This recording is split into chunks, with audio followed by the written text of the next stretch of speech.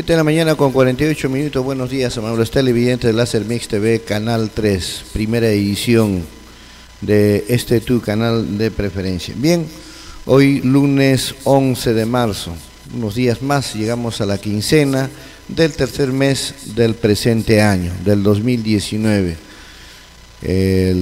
nos vamos a la dos meses y medio de gestión de los gobiernos regionales como también de los gobiernos locales. Hablando de los gobiernos locales, el quien da en este momento la noticia, el quien da la hora, es el alcalde de la Victoria, George Forsyth. Hoy, por ejemplo, han venido trabajando desde las 2 o 3 de la mañana en limpiar lo que es el damero de la Victoria. Quiere decir concretamente eh, lo que es el emporio comercial de Gamarra. Él eh, había manifestado semanas atrás que de todas maneras se iba a limpiar, de todas maneras se iba a poner en orden, de todas maneras se iba a acabar con las mafias que existentes en ese sector. Y no solamente era ya ahora las mafias peruanas, sino también se venían enquistando las mafias eh, venezolanas. Y eso eh, nos parece que está muy mal. Por otro lado, eh, hablando de los venezolanos, deben ser inmediatamente expulsados quienes cometen actos contra la ley dentro de nuestro territorio peruano. Ya hemos visto que eh, malandrines venezolanos hacen quedar mal a sus paisanos y por lo tanto debe ser embarcado hacia Venezuela, a su país de origen. Bien, por otro lado, pasemos a otro punto de la información.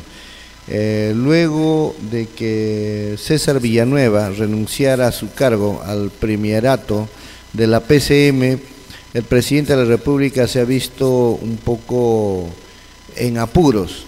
Eh, algunos dicen la, el alejamiento de César Villanueva sería a que no habría dado resultados durante su gestión durante el tiempo que viene trabajando en la presidencia del Consejo de Ministros. Yo creo que si es así, aquí se tiene que trabajar con resultados. Personaje que no produce, simplemente debe reconocer y dar un paso al costado. Pero aquí también hay que tener algo en cuenta. Estamos viviendo un momento eh, contradictorio dentro de nuestra política nacional y por supuesto todo esto eh, un poco que desestabiliza, algunos que tratando de desestabilizar al gobierno de Martín Vizcarra y otros tratando de empujar el carro. Lo cierto es que durante la permanencia del presidente de la República hasta ahora no se han dado los resultados que se esperaban. Más del 60% de las obras de reconstrucción nacional con cambios no se han ejecutado eh, este, en forma satisfactoria. Del 100% apenas se han avanzado el 40%. Y eso, lógicamente, mm, eh, el que carga ese pasivo ha sido el presidente del Consejo de Ministros. Y seguramente al hacer una evaluación dijo, bueno, pues sabes qué, señor presidente, hasta aquí nomás, eh, usted vuelva a conformar su nuevo gabinete yo doy un paso al costado porque no se está dando los resultados que se esperaban.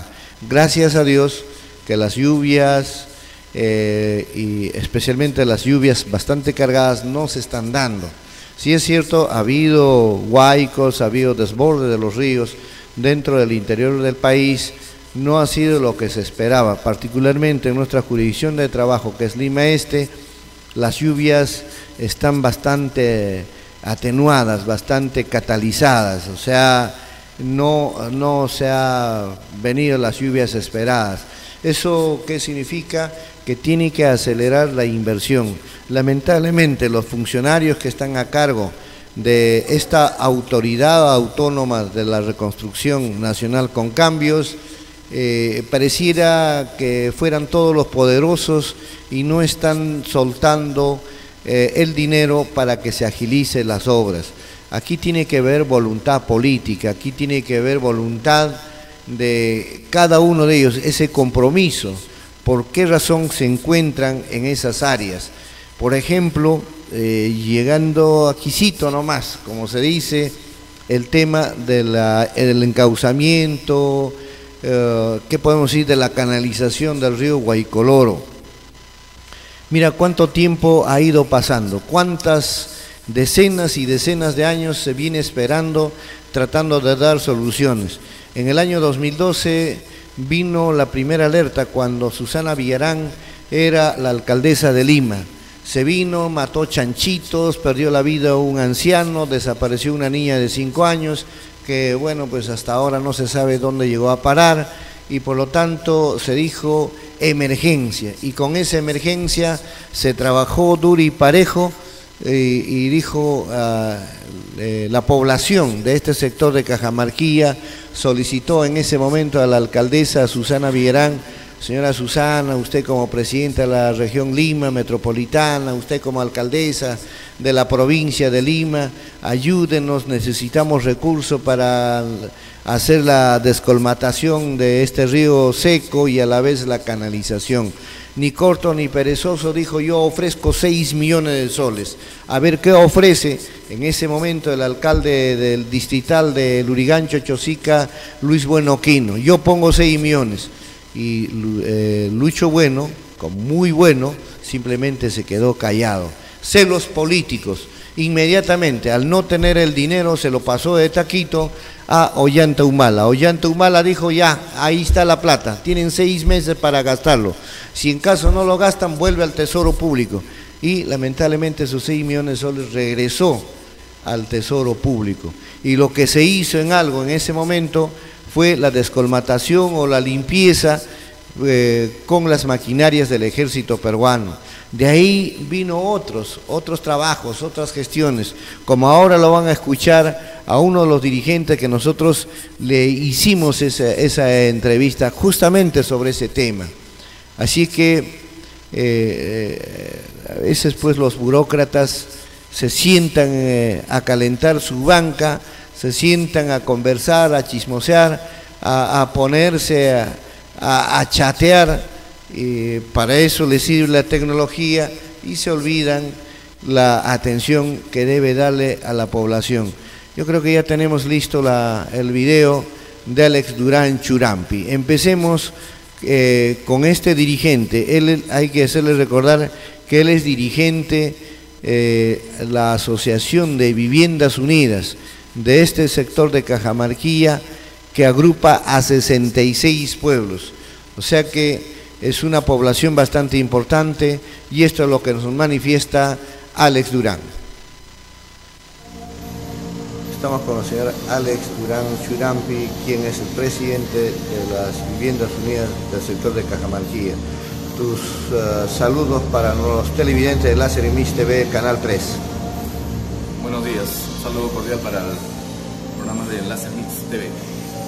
Referente al tema, las gestiones que vienen realizando sobre el encauzamiento del río Guaycoloro, la vía alterna, como también este, el caos vehicular que se vive en el sector de Lobo Lobaña. Efectivamente, eh, bueno, en primer lugar agradecerte por la invitación, la entrevista que me realiza el día de hoy. Eh, como debes saber, la Organización de Viviendas Unidas de Cajamarquía ya viene realizando ciertos trabajos, gestiones para ver proyectos integrales que dan solución definitiva a estos problemas.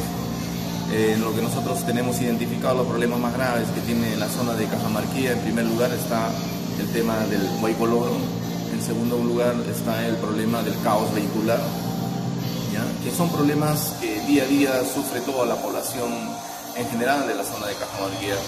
A esto nosotros hemos comenzado a hacer un trabajo integral primer lugar, para darle solución definitiva al encauzamiento del río Huaycoloro, en una primera etapa lo que se ha hecho es, después del Huayco del año 2017, se ha comenzado a hacer las gestiones pertinentes ante la autoridad de construcción y todas las entidades competentes para poder buscar un presupuesto para poder hacer los trabajos, en primer lugar, de limpieza y descolmatación, para poder prevenir los próximos huaicos que se venían el año 2018 y ahora que es el año 2019 gracias a Dios se logró sacar un presupuesto de 5 millones y medio, se hizo eh, los trabajos de limpieza y descolmatación de un tramo aproximadamente 6 de 5 kilómetros y medio, desde el puente Las Torres hasta el puente de Zaracoto Alto. eh, se hizo la limpieza y descolmatación por parte del Ministerio de Agricultura con el PCI.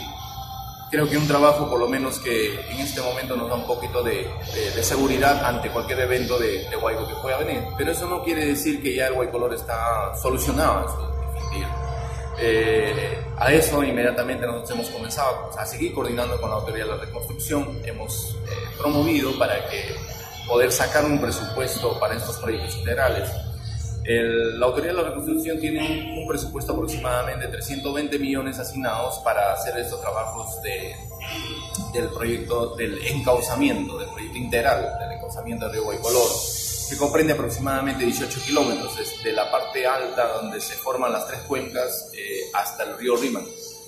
y luego que contempla pues, prácticamente las tres partes, ¿no? la parte alta, la parte media y la parte baja.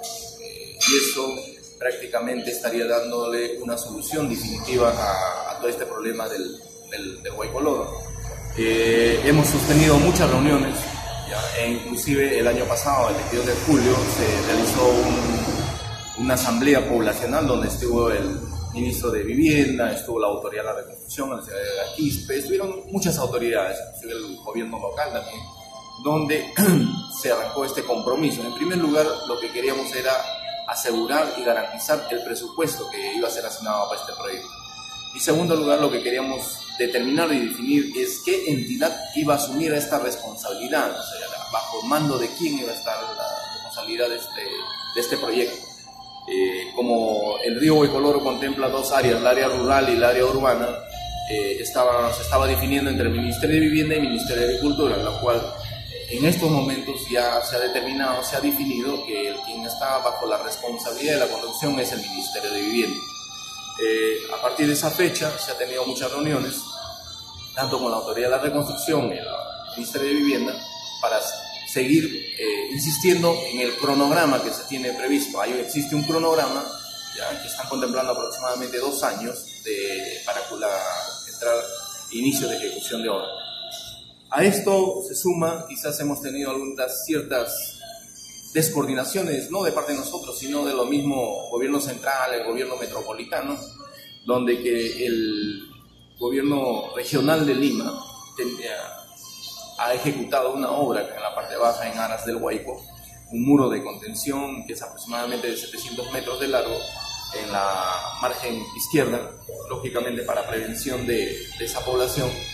Ese proyecto venía, esa solicitud venía desde el año 2002, eh, a, raíz de que ahora se ha dado los eventos el año 2017 y lógicamente en la PCM, en la última reunión que sostuvimos en, en diciembre del año 2017, donde se tenían que aprobar ciertos presupuestos, se apoyó también ante la región Lima para que puedan aprobar ese, presupuesto, para que se ejecute esa obra. Pero lamentablemente debo decir que el proyecto cuando se comenzó a ejecutar, nosotros tuvimos acercamientos a ellos para poder hacerles, conocer de qué se trataba el, proyecto integral, más que nada, para que no haya, no se superpone al, proyecto integral, el proyecto que iban a realizar. Hicimos, dimos información, documentos, cómo se está trabajando, e inclusive algunos informes de la Autoridad Nacional del Agua de los puntos críticos que se tenía identificado en ese lugar, como son las curvas, que las curvas son un peligro en realidad a este río porque hace que se desborda bien para uno, de los lados, siempre y cuando a donde, a donde desvía el, cauce del río. Entonces se, formó, se firmó actas, compromisos, pero aún así, digamos, la región Lima no ha tomado en consideración todas estas no ha cumplido con sus compromisos y ha, concluido ejecutar esa obra de muro de contención, al cual nosotros eh, habíamos identificado tres puntos críticos y lo que hemos hecho es que no teniendo la buena voluntad de corregir esos tres puntos críticos, hemos llegado ante todas las entidades para hacer las denuncias respectivas y, en, fin de prevenir cualquier desastre que pueda haber si es que viniera un hueco, afectar a la margen derecha y a toda la población de la margen derecha y, que en realidad el único responsable iba a ser la región Lima. Se ha presentado la, denuncia ante la Comisión de Fiscalización del Congreso y ante todas las entidades competentes. Eh, a raíz de eso, lógicamente, se han hecho ciertas evaluaciones. Ahora, con esta nueva gestión que ha entrado el alcalde Jorge Muñoz, ha formado una comisión de fiscalización para que vaya al lugar en sitio, haga las fiscalizaciones, los estudios, si está bien o no está bien. y lógicamente que ya se pronunció el alcalde Jorge Muñoz donde indica efectivamente que ese, ese muro va a generar ciertos problemas posteriores si es que hubiese un huaico. Entonces, en estos momentos lo que ya específicamente lo que se encuentre en el proceso que se encuentra este tema del muro de contención ya le están dando una solución en coordinación ahora sí justamente con la población, en coordinación con la con otras con las otras entidades para darle ya una solución a este problema eh, que esperemos que en, el, el, tiempo más en el plazo más corto porque cuando nosotros estuvimos la última reunión con la autoridad de reconstrucción nos manifestó que uno de los obstáculos para continuar con el proyecto integral era justamente este muro que se, se superponía al proyecto integral. Entonces, eso ha llevado a que ya en estos momentos se estén dando esas soluciones, ojalá que en el corto más plazo, y esto continúa, se continúa con todos los trabajos, en este momento que está en el Ministerio de Vivienda, los avances de todos los, los estudios para que este proyecto al final se pueda dar, eh, pueda concluir satisfactoriamente. Esto del encauzamiento del río Guaycoloro no solamente viene del año 2017, después del, ¿no? del rebalse del río Guaycoloro, sino inclusive ustedes venían ya trabajando, si no me equivoco, del año 2012, 2013, con el tema del caos vehicular en el Óvalo Guañe. Efectivamente, el, el Guaycoloro en realidad se comienza a trabajar con una propuesta del sector privado, donde se, hubo, se firmó un convenio entre el sector privado y la Autoridad Nacional del Agua para hacer dos trabajos específicamente, ¿no? Uno es el tema de la, limpieza y descolmatación del río Guaycolor en aquellas épocas, porque el río Guaycolor en esas épocas se encontraba prácticamente invadido, se encontraba eh, rellenado todo el Guaycolor, no había río, entonces este, a raíz de eso se formó un convenio entre Lana y la empresa privada y se comenzó a hacer un trabajo. Primero, la recuperación de la limpieza y descolmatación del río Guaycoloro y la recuperación de la, de la vía que, que, debe existir entre la faja marginal y la margen derecha. Eso ha llevado a recuperar prácticamente parte de la faja marginal del lado de la margen derecha, aproximadamente 35 metros, porque el, río Guaycoloro, la faja marginal tiene 70 metros, entonces se ha recuperado la margen derecha. Se han reubicado muchas familias que estaban posicionadas dentro de la faja marginal, el cual pues si es que no se hubiese hecho ese trabajo, quizás el 2017 hubiese traído mayores desgracias, pérdidas de vidas, porque había personas que han estado posicionadas dentro del río. Entonces, se ha hecho un trabajo fuerte, inmenso, quizás para que hoy en día, así como ves el río Guaycoloro, se haya recuperado ya prácticamente en su 50 o 60% el río Guaycoloro aparte de eso, se haya puesto orden más que nada en el río Guaycoloro, porque el río Guaycoloro, la población en general y todas las personas que, tanto de afuera y de la misma zona, no respetábamos. Creíamos que era un centro de botadeo de desmonte, un centro donde podíamos eh, desembocar todas nuestras redes de repente de desagüe, la contaminación y, y poniéndonos en riesgo nosotros mismos. Hoy en día usted va a ver, ya por lo menos existe una vía, la vía de nosotros le llamamos la vía de servidumbre, es una vía alterna, pero lógicamente sin, eh, sin desconocer que esa es una vía metropolitana. De acuerdo a la aprobación del año 2000, 2001 en la ordenanza 141 de la Municipalidad Metropolitana de Lima, está considerada como una vía eh, colectora. O sea, existe esa vía. Existe ya en estos momentos se ha recuperado esa, esa, vía, está puesta en funcionamiento, inclusive ya los vehículos eh, están transitando por ahí, por esa, por esa vía, por la vía carrozable que le denominamos, pero en realidad el nombre formal que tiene considerado la, la Municipalidad de Lima o el IMP es la prolongación de la Quinta Avenida. Entonces esa vía ya está funcionando, el cual pues ha sido muy, muy, muy valioso para toda la población de, de Cajamarquilla, que eso ha servido para que en estos momentos se descongestione eh, la avenida Cajamarquilla. ¿no? Este, hablando sobre este tema, eh, ¿en qué momento es la que participa ya Petramás activamente para la construcción de esta vía alterna metropolitana? Bueno, eh, como te hablaba, iniciando desde el año 2015, el, la empresa quien firma ese convenio con el, la Autoridad Nacional del Agua fue Petramás. Petramás, Petramás. y nadie más. Nadie más. Lógicamente que ahí lo que buscábamos era que se sumen más empresas para que puedan también este, apoyar en todos estos... Totus, Unicom. E, efectivamente, ¿no? Invitamos a Unicom, invitamos a Votarantín, invitamos, pero... Eh, Lo que sucede es que las empresas tenían previsto, tienen previsto hasta ahora hacer otro, otra, la otra obra, que es parte de la avenida Cajamarquía, tienen un compromiso. Entonces, este, por esa es la razón que Tetramas fue una de las, una de las únicas empresas que le tomó bastante interés para poder este, participar y hacer todos estos, estos avances que hoy en día, pues en realidad nos da un poco de, tranquilidad, que ya más que nada, viendo el resultado, y dando parte de la solución de la descongestión vehicular que existía antes en el Lobo Loguañi, eh, saliendo hacia el puente Huachipo, carretera central, hoy día se ha descongestionado y creo que la población está más, más tranquila. ¿Cómo quedó ese proyecto de pavimentación del Lobo Loguañi hacia la carretera central? Eh, efectivamente, ¿no?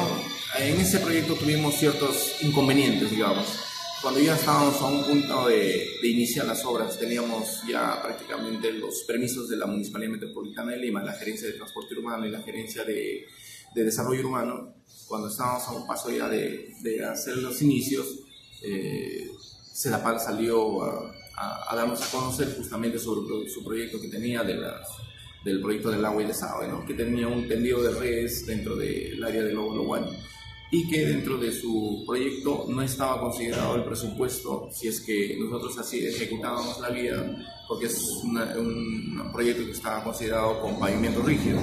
Entonces, SEDAPAL tenía que romper todo ese pavimento rígido y no tenía el presupuesto, no estaba considerado el presupuesto para resanar, para dejarlo tal igual como estaba. Entonces, esa es la razón que SEDAPAL ha cursado ciertos documentos, hemos tenido reuniones con ellos, ellos han pedido que, por favor, no en este momento todavía no se ejecute hasta que se pudiera terminar sus trabajos que iba a hacer Sedapal. Una vez que terminó Sedapal, ya eh, sus trabajos nos hicieron prácticamente ya la, la disponibilidad del área del terreno para poder trabajar. Cuando se comenzó a hacer las gestiones en Lima Metropolitana para poder sacar nuevamente los permisos para poder ejecutar, lamentablemente sale la región Lima diciendo que, oiga, ¿sabes qué? Nosotros tenemos un proyecto integral en la Avenida Las Torres Inicialmente tenían un proyecto de que se trataba en dos etapas. Uno es desde, las desde el arco de Jicamarca hasta el puente Tumi y el segundo tramo era del puente Tumi hasta la avenida Circunvalación. Dos proyectos que ya estaban bien encaminados por parte de la región Lima. Entonces eso no permitió que prácticamente la región Lima eh, continuásemos con el, con el proyecto porque lo que indicaron era que se superponía a su proyecto integral y el proyecto integral lo que constaba era pues hacer de no solamente de del, ancho o, simplemente construir tal como del ancho que está hoy en día considerado, ¿no? sino que iban a hacer una ampliación inclusive de acuerdo a lo que está aprobado del, dentro del plan de sección de vías. Y eso no ha permitido que se avance porque ya se suponía la obra. Entonces eso ha hecho que se trunque la buena voluntad en un momento de las empresas privadas que querían invertir en esa obra por un tema de responsabilidad social. ¿Quiénes, ¿Qué empresas es la que iban a invertir en, este, esta obra? ¿Y cuánto costaba? La empresa, estaba la empresa Totus, la empresa Gloria, la empresa Voltarantín, la empresa Unicon y la empresa Petramás. Eran las cinco empresas quienes han instalado a eso. Se han complementado la empresa Fitesa, la empresa Calice, el Cemento Cinca. Y bueno, eh, la obra estaba valorizada aproximadamente en 1.250.000 dólares. Eh, lógicamente que no, al no lograr haberse ejecutado esa obra, eh, nosotros inmediatamente hemos invertido, hemos tomado contacto con ellos, hemos coordinado ya con ellos, y es que la región Lima ya como tiene un gran avance en este proyecto y próximamente lo que nos han manifestado en la última reunión de la región Lima es que próximamente lo van a hacer, lo van a ejecutar, porque esa obra está yendo también por parte del financiamiento, está yendo con la autoridad de la reconstrucción, plata de la reconstrucción. Entonces, este, lo que ya le hemos propuesto en este caso a las empresas de acá del sector es también impulsar para trabajar en este nuevo proyecto que va a ser de la Avenida Cajamarquía, o sea, la ampliación de la Avenida Cajamarquía. Y, y ahí se puede trabajar conjuntamente con ellos eh, de la manera coordinada. De repente también promoviendo obra por impuesto o un tema de responsabilidad social, pero eso ya lo vamos a, estamos en previa coordinaciones directamente con ellos. Señor Durán, eh, ¿qué sabe usted ahora que ya me habla de la región Lima, me habla de Lima Metropolitana sobre la pavimentación de la avenida La Torre desde Lobo Loguañec hasta el arco de Cerro Camote? Mira, eh, efectivamente, ¿no? yo participo como invitado, nosotros como organización no somos la organización quienes están viendo esa gestión, pero sí nos interesa también saber cómo están yendo los avances, porque nosotros, quiero ser bien enfático en este tema, es que estamos viendo ya más que nada la solución a todos estos problemas, pero integralmente, no podemos ver solamente algunas zonas, sino es integralmente. Y las torres también nos interesa porque también es una vía muy importante donde que Cajamarquía tiene que salir, también utilizar la avenida Las Torres. Eh, la última reunión que sostuvimos en la Autoridad de la Reconstrucción manifestaron que la Autoridad de la Reconstrucción ya próximamente ya están en todos los últimos detalles para poder dar este inicio a esta obra. Eh, inclusive sí ha variado, anteriormente se iba a hacer en dos etapas, hoy en día se piensa hacer una sola etapa, que es desde el arco de Jicamarca hasta el Óvalo Guaño. Entonces, prácticamente... ¿A un costo? Eh, el, el, costo real en este momento no lo tengo, pero ya... ¿Aproximadamente? Porque lo que manifestaba es que la Autoridad de la Reconstrucción tiene considerado hacer la berma del medio, una vía a la margen en un sentido hacia, hacia Jicamarca y el otro sentido hacia el, hacia el Y lo que va a complementar las otras vías es la región Lima, o sea, ambas, ambas instituciones están participando en este, en este proyecto. Seguramente ya en unos días más deben estar saliendo ya las informaciones más claras de acuerdo al costo real, cuánto está, está costando todo este proyecto, porque están en la evaluación en los últimos estudios y, sinceramente nosotros deseamos que este proyecto prospere y cuanto más antes se pueda ejecutar porque sería parte también de la solución integral a estos problemas del, caos vehicular. Este, hablando de la Quinta Avenida, nos dice que de todas maneras Lima Metropolitana se hace cargo de esto. Eh, la vía alterna, eh, paralelo al río Guaycoloro, que sale al puente de la Avenida de las Torres, prácticamente se conecta con la Quinta Avenida. Llega a la autopista Ramiro Prealé y ahí muere. Ustedes tuvieron una reunión con los funcionarios de ATE hace pocas semanas. ¿A qué acuerdo llegaron o cuál ha sido la visualización de ambos distritos en todo caso? Sí, efectivamente. Este, creo que cuando ya hablamos así, la integralidad, la conectividad que tiene que existir entre vías, y más aún si son vías metropolitanas, eh, creo que ya se tiene que trabajar, coordinar de una manera conjunta. No podemos solamente un sector, sino ya de manera conjunta. Para eso hemos promovido, inclusive nosotros, ha habido la buena voluntad de parte de las autoridades actuales, como es la Municipalidad de Chosica, liderada por el alcalde, la Municipalidad de Santa María de Huachipe, el alcalde, algunas empresas, eh, eh, se ha tenido algunas coordinaciones, ver de esa forma esto, ¿no? darle solución al problema, pero integralmente. Entonces hay la buena voluntad de parte de todos ellos. Eh, se está tratando de, empujar el coche de esa manera. Cuando me hablas de la Quinta Avenida, la Quinta Avenida también está pronto ya a iniciar estas obras. Ya creo que la parte baja de Santa María Huachipa, liderado por su alcalde, ya están consiguiendo que esta obra efectivamente se haga realidad. Y también es una vía metropolitana, el cual nos ayuda tremendamente. ¿Por qué? Porque si nosotros hablamos de la vía, la prolongación de la Quinta Avenida, que es del Puente de las Torres, la margen derecha del Guaycoloro, a la parte alta, eh, creo que tiene conectividad.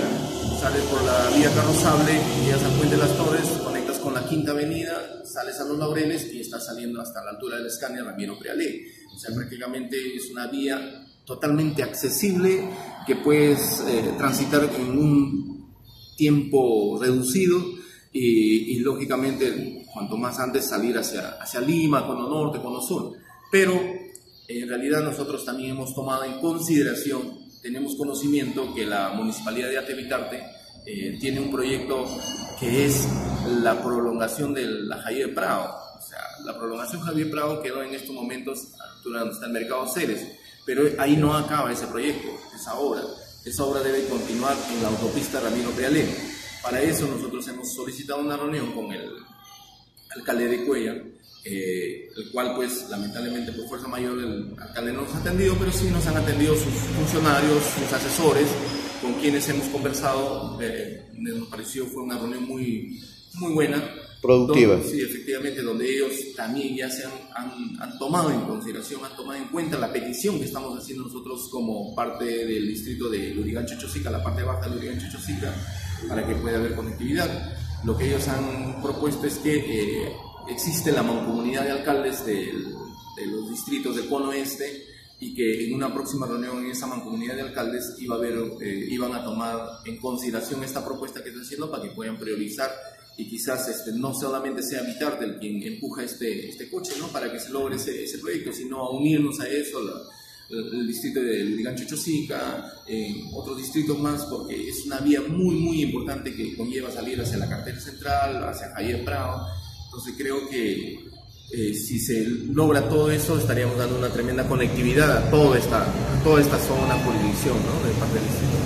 Sobre la culminación de la ampliación de la autopista Ramiro Prealé, eh, hemos quedado nosotros, eh, hemos solicitado ya una reunión muy formal, muy seria con el alcalde de Lima, Muñoz, donde va a participar justamente el alcalde de nuestro distrito, de Lurigan Chichosica, estará participando el alcalde también de Santa María Huachipa y otras autoridades, funcionarios y, y representación también de parte de nosotros de la población, para poder tener la información clara, precisa, cuál va a ser la situación de la Ramiro Prealé porque no es justo que la Ramiro Prele hasta estos momentos siga abandonado, siga estando en la situación que está, porque en realidad eso nos crea mucho atraso, nos crea mucho problema en el tema de, de, tránsito, de congestión vehicular. Eh, entonces ya se le ha hecho llegar por intermedio de sus asesores al, al, al alcalde Muñoz por intermedio de sus funcionarios se le ha hecho llegar el malestar, la queja prácticamente que existe de toda la población en general del cono este por por no por estar estancado ese proyecto de la, la, la Miro Preale. Entonces, creo que próximamente vamos a tener una reunión formal donde ya se tiene que estar definiendo, determinando este, este tema ¿no? del, Miro eh, ¿Qué sabe sobre el planeamiento urbano en este sector de Cajamarquilla?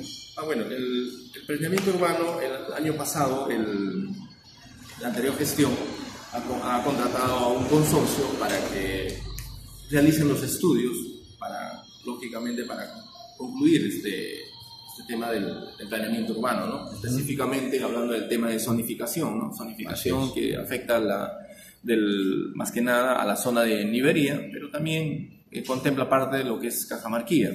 Ya esa, esos estudios ya se han concluido, ya, ya ese consorcio ya terminó, ha presentado a la Municipalidad de Chosica, la Municipalidad de Chosica según la última reunión que estuve con el alcalde, nos informó que ya habían presentado al IMP.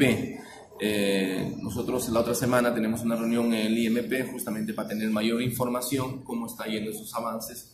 Y esperemos que, que todo salga bien, sea aprobado bien y eso será pues conllevará en realidad a la formalización, a un mejor avance, a un mejor desarrollo de toda esta zona, porque cuando no tenemos definido ese tema, es, creo que por eso que se ha generado mucho desorden en la zona, mucha informalidad en la zona que esas son las consecuencias que ahora estamos pagando, lamentablemente, a veces hasta por un poco el descuido el abandono de la misma autoridad. Eh, referente al tema del saneamiento físico legal, ¿cómo caminan ustedes? Eh, el agua, desagüe, ah, se avanzó. Efectivamente, el, el, tema del agua y desagüe ya, como es de conocimiento público, ya se han hecho los trabajos, ya se han instalado las redes primarias, secundarias en muchas asociaciones lo que tenemos conocimiento es, este, por la, última reunión también que hemos sostenido en Sedapal el 28 de diciembre, es que eh, Sedapal el mes de enero comenzaba a hacer la recepción de obra, la recepción de obra por, por parte de Sedapal, la entrega de obra del consorcio Cajamarquía, que esto iba a durar, todo este proceso iba a durar aproximadamente hasta el mes de julio, y en el mes de julio se estaría concluyendo todos estos, trabajos y para que ya se pueda poner en funcionamiento de, este servicio. Pero eh, en últimas reuniones que ha habido a nivel dirigencial, eh, con la experiencia un poco que nosotros tenemos, es que eh, tenemos que estar atentos, tenemos que estar a la expectativa, tenemos que estar ahí tras tras de esto, porque si nosotros simplemente descuidamos, nadie nos garantiza si esto efectivamente se va a cumplir en julio. Eh, entonces, hay, una, hay un trabajo, una responsabilidad también de nosotros como parte de dirigentes estar ahí eh, haciendo el seguimiento debido para que esto se dé. Pero como ya es de conocimiento, ya las obras se han avanzado. Digamos, está, yo creo que está en un 80%. Entonces, esperemos que ojalá sea realidad en el mes de julio y ya se ponga en funcionamiento y creo que con esto cambiaría tremendamente todas estas poblaciones, tanto de Cajamarquilla, Nivería, Cerro en con este servicio básico que es el agua y desagüe. Por otro lado, eh, su organización, ¿cuántas organizaciones vecinales es la que representa? Eh, la Organización de Viviendas Unidas representa 64 entre asociaciones, asentamientos humanos y organizaciones de la zona de Cajamarquilla. Solamente Cajamarquilla. Sí, solamente Cajamarquilla. ¿Nos podría mencionar algunos de ellos, eh, quizás los más principales? Sí, coordinamos con todas las acciones, ¿no? Tanto Paraíso, Santa Cruz, eh, bueno, Campiña, Campiña Campiña B. Eh, bueno, al cual yo debo rescatar el gran interés que tienen los dirigentes en estos momentos para que justamente se vean, se hagan realidad todas estas obras, hay este cambio, hay estos mejoramientos que se está trabajando. Creo que ahora estamos trabajando de una manera conjunta. Eh, hay participación directamente de los dirigentes de base, no es solamente la directiva de la organización de viviendas, sino cada reunión que tenemos en diferentes entidades estamos participando un grupo de dirigentes, acompañados con dirigentes de base, vamos, 10, 15, 20 dirigentes, estamos bajando a todas esas reuniones, aunque a veces no les parece correcto a, las, a los funcionarios, a las autoridades, porque creen que es mucha población, pero creo que los dirigentes tienen derecho a conocer directamente cómo se vienen realizando las gestiones, cuáles son los avances y así puedan también transmitir, dar, informar a su población. Y eso está llevando a que haya más claridad en las gestiones que se están dándose y, y bueno, pues que creo que también hace que haya el interés de todos y al final la autoridad también le ponga el interés para que pueda dar solución a estos, a estos proyectos. ¿Algo más que quiere agregar? Bueno, agradecerle una vez más. Eh, creo que yo muy agradecido, en realidad, con todos los dirigentes, quienes vienen apoyando a la organización, quienes venimos trabajando conjuntamente por buscar el desarrollo integral de nuestros pueblos, eh, por buscar las soluciones a todos estos problemas que nos acarrea día a día y sinceramente no se hubiese podido avanzar también si es que no tuviésemos también la participación del sector privado y eso es bueno. Hay veces hay algunas algunos dirigentes o, alguna población que satanizan a las empresas. Eh, nosotros hemos sido bien claros, la organización de viviendas desde el día que se creó, eh, dentro de los estatutos inclusive tiene contemplado trabajar de la mano con las autoridades, con las empresas privadas, con, la misma población, con todos, para que esto pueda darse. Y eso es lo que estamos haciendo. y los resultados quizás por sí solos van hablando, porque lo que la gente quiere no es tanto que el en otras palabras, tanto palabreo, sino lo que la gente quiere es resultados. 8 de la mañana con 22 minutos. Ustedes han escuchado al presidente de la Asociación de Viviendas Unidas del sector de Cajamarquilla. Eso es lo que viene ocurriendo en este sector del Urigancho, Chosica. A eso es la preocupación del alcalde Víctor Castillo. ¿Qué hacemos? ¿Cómo, cómo solucionamos? y pareciera que eh, la autoridad autónoma de la reconstrucción con cambios se obligó a llamar a, la, empresa, a la empresa privada y al alcalde justamente para ver sobre este tema, conjuntamente con Lima Metropolitana. Allí hay un defecto, allí, allí hay un error al momento de haber construido estas siete cuadras del muro de contención por parte de Lima Metropolitana. Y ahí está claro. Nosotros hicimos un, recorrido del día sábado y efectivamente ya venían corrigiendo la región Lima, capital.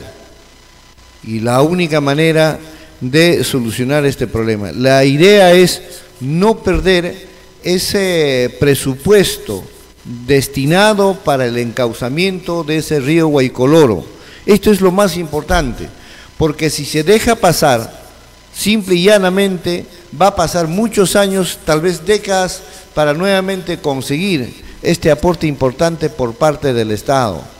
Y las empresas, particularmente Petramás, es uno de los interesados a que se ejecute, a que se cristalice esta obra.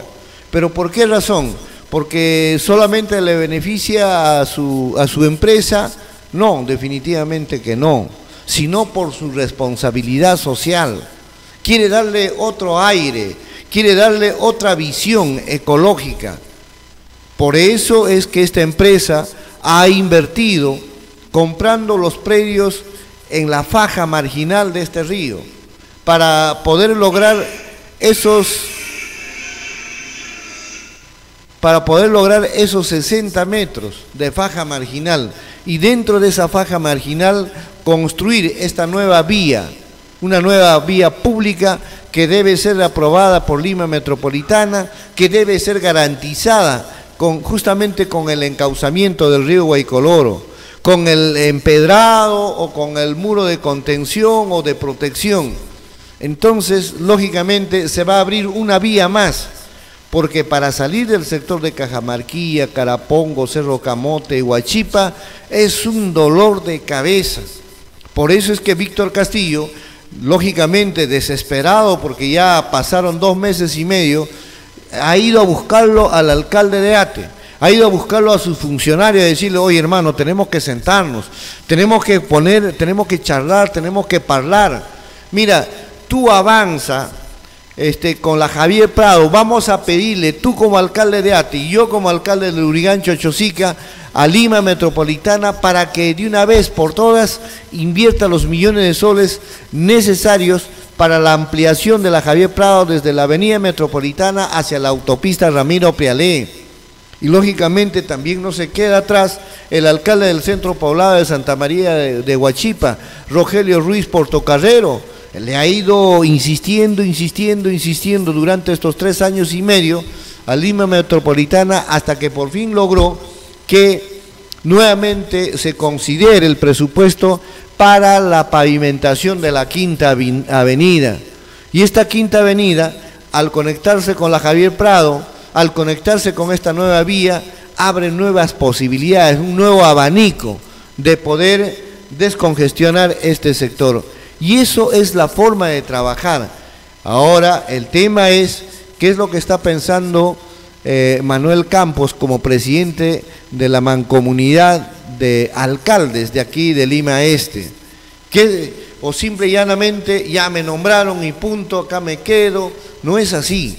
Tiene que también involucrarse y decir, bueno, pues señor alcalde de Lima, no solamente hay que trabajar por el tema de Guaycoloro, por el tema de la Javier Prado, sino también la ampliación de la autopista Ramiro Prialé es necesario que nuevamente se inicie ya con este trabajo. Mira, los meses están pasando. Ya vamos a llegar a medio año, vamos a llegar al primer año. Oiga, y si no insistimos, si no hacemos las rabietas, si no hacemos los escándalos necesarios ante Lima Metropolitana, oiga, los otros distritos de Lima Norte, Lima Sur, Lima Oeste y, entre Lima Centro, simplemente nos va a quitar los millones de soles que nos corresponden. Por todo eso es importante que nosotros pues estemos manifestando a la población, oiga, qué es lo que estamos haciendo. Siendo las 8 con 29 minutos, prácticamente nosotros damos por culminado hoy este programa. Quizá un poquito tarde, pero valió la pena. Bajamos el video justamente de este dirigente de Alex Durán para que nos pueda explicar con detalle y lujo cuáles son la problemática a solucionar en este sector del Urigán Chochosica. Y coincide con todo lo que ha venido manifestando Víctor Castillo. Está en algo este alcalde, está, eh, me imagino que llegará un momento dado donde se desmoraliza, pero hay que darle ese empuje, hay que darle ¿no? ese punche por parte de la población, por parte de los dirigentes, decir, señor alcalde, estamos aquí y, te vamos a acompañar, vamos a fortalecer con esta alianza estratégica y hay que trabajar. No hay tiempo para más. Muchísimas gracias por su gentil sintonía. Mañana, 7 y 30 de la mañana.